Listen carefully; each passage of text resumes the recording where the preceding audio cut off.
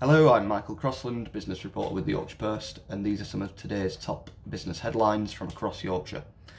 In the latest news from data company WANdisco, the firm's interim chief executive Stephen Kelly has described 2022 as a wasted year, but promised that 2023 will be a year of real transition.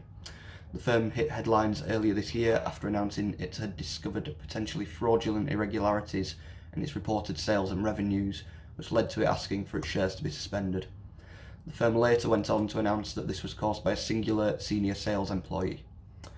The latest announcement from WANdisco comes as the firm releases its preliminary unaudited results for the financial year, where it's reported an adjusted EBITDA loss of £24 million for the period, compared to £23.4 million in 2021. In other news, Poundland has begun recruiting for 120 new roles in Yorkshire after outlining plans to create a second digital distribution centre.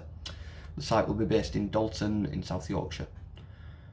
We also have news from JMG Group, which is based in Guiseley, which announced that it has already made its 10th acquisition of 2023 by acquiring Cheshire-based insurance firm Blackfriars Group. And finally, speaking at the Foresight Net Zero live event in Hull last night, American nuclear firm X Energy outlined its plans to create a coast to coast northern nuclear deployment strategy. If these plans go forward, it will include the construction of a new advanced modular reactor in Teesside, as well as a fuel fabricating plant in the northwest.